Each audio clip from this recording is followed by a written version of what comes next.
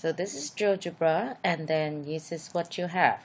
If you do not have the uh, algebra make sure you get the to the view and click on algebra. And also you make sure you have your input bar by clicking that here. So we all done and now we start with our equation. In case you would like to have the grids here you go. Now we have the grids. There are two ways to input a function. One is just typing in the equation. Let's start with y equals to x squared there we go. And then make sure you go to the drag the arrow for the moving and you can move it wherever you like.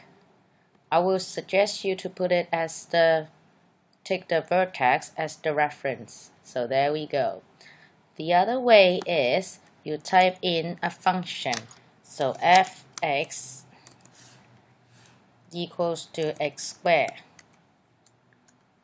both of them works well, just they will give you different type of function or ways of display format for the equation after you move it.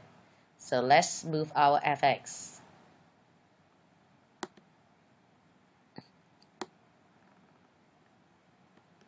So they works the same, they are equal.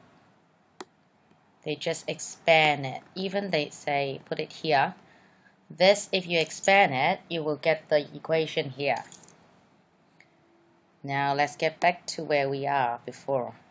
Now I would like it to be negative, so instead I can change it or retype the new one. At this time I'm being lazy, so I will just put a minus sign so the whole function will be reflected alongside by x-axis. Now I drag it up a bit.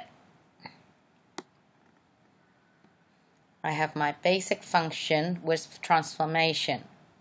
Remember, translation, this is what we are doing, moving it up and down, left or right.